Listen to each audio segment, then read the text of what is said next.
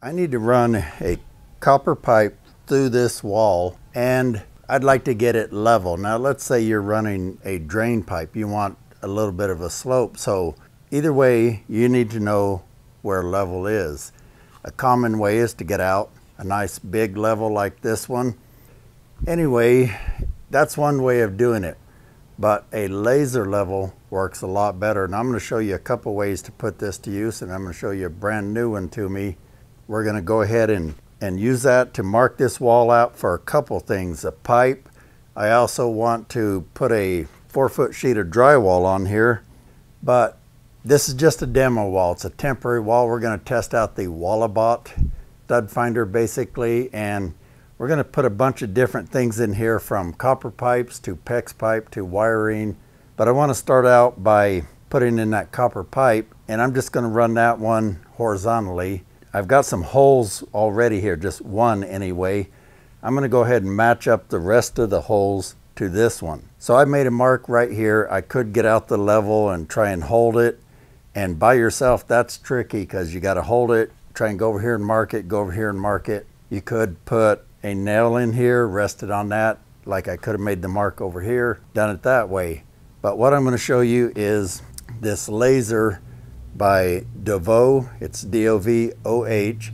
And I'll put a link to it in the description down below so you know right one what I've got. Uh, this comes in a nice little case here. So you can see this case and it comes with a number of accessories. So let me show you those first. So it comes with a green indicator. This can help you see the laser line in dim light. Now these usually aren't bright enough for outdoor use, but you can get by with that. Sometimes you can still see it outside. It's best if it's kind of a cloudy day.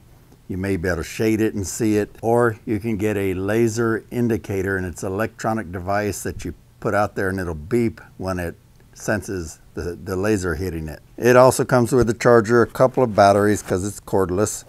I've got one battery in it and it's got this little platform so I can see you crank this, it raises it up. So I guess if you want to set it, on something and make that little minute adjustment up and down, you can do it that way.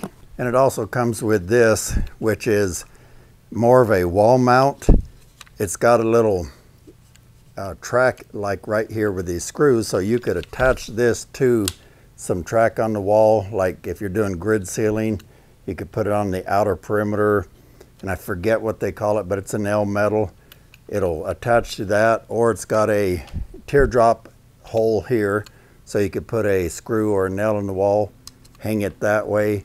It's also got a large screw mount right here and you could uh, attach it to something that way and I'm not real sure what that one's for. Once you get it attached though, you put the laser on here with this quarter um, thread mount which is the same as a tripod which is what we're going to use but you can crank this up and down to get that adjustment that way. Um, it also, this one has lasers that shoot horizontally this way, vertical this way, and horizontal at the bottom. So it's actually got a laser down here, one up here, and one on the side. You can turn those on and off individually. That can be handy when you're trying to get a 90 degree uh, mark for say a cabinet and you, you're putting it right in the middle of the wall. You don't want it tilted this way and um, you can square it up that way.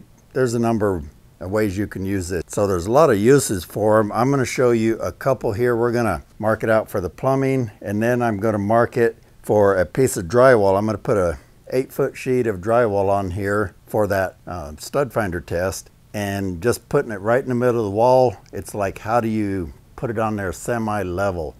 I don't want it to be all crooked. Well, this is going to give us a mark. I've got this mounted to my tripod mount. Turn it on now.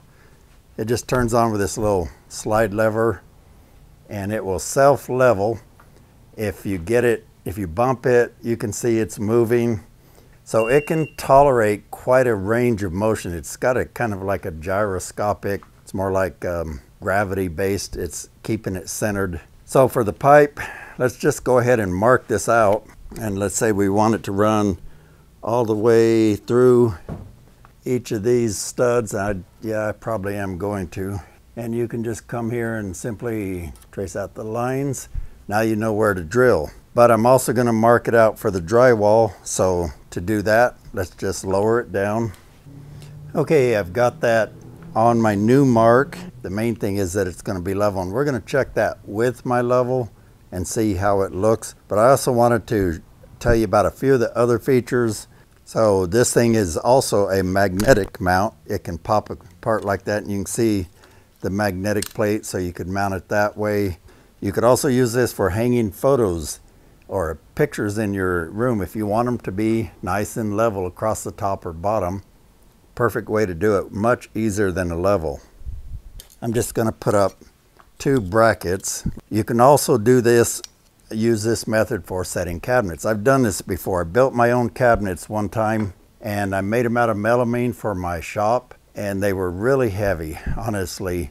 By the time I got done, I think one of them weighed 180 pounds because it was pretty long. I think it was eight foot long. But anyway, point was I knew I was going to carry it out there by myself in my shop, put it on the wall, get some screws in it. How am I going to do that with one person? Well, I did a line like this and I attached a 2x4 to the wall and I managed to carry it over and set it onto the 2x4. Once I had that done, all I had to do was hold it up while I ran some screws in it. So there's a lot of ways to use these. Okay, let's check that out with the, lay, the level and this will make it even easier to check out. Okay, I went and got my other camera. I'm going to take a picture of that bubble for you guys so you can see what I'm seeing. And it looks to me like it's pretty much dead on. So I'd say the accuracy is not something to worry about. Now we're just going to go ahead and hang a sheet of rock on here and hey, if you really want to take the confusion out of understanding all these different drywall tools and materials, I'm going to give away a copy of my new ebook called Understanding Drywall Tools and Materials. You can pick that up using the link in the description down below, or if that's a condensed version. If you want the full version, it's available in my store at thatkiltedguystore.com. And I'm going to help simplify all this, and I'm going to show you why you don't need most of this I'll show you what you do need and why.